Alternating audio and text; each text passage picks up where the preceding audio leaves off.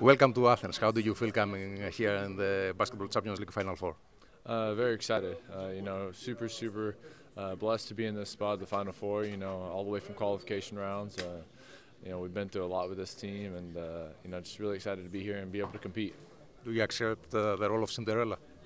Uh, I don't think so. I mean, we're third place in the German league. We finished second in our group, so I mean, I, I think that you know, we can play with any of these teams and uh, are just as, as talented as, as any of them. So um, I don't think so. I think we just have to go out there and play our game.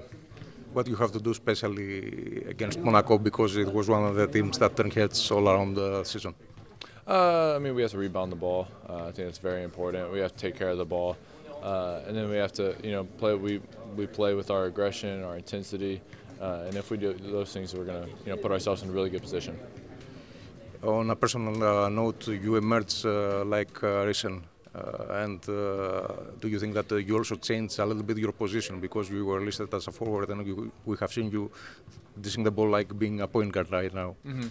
uh, yeah, I mean, I think that's you know, kind of a pos positionless player. You know, I think I can play everywhere on the court and uh, you know on offense and defense. So uh, I think it just kind of fits my game. And you know, when we have a couple guys out there that can handle the ball, pass the ball, I think you know it really helps uh, you know, everybody. So I think uh, you know, it just kind of fits my game.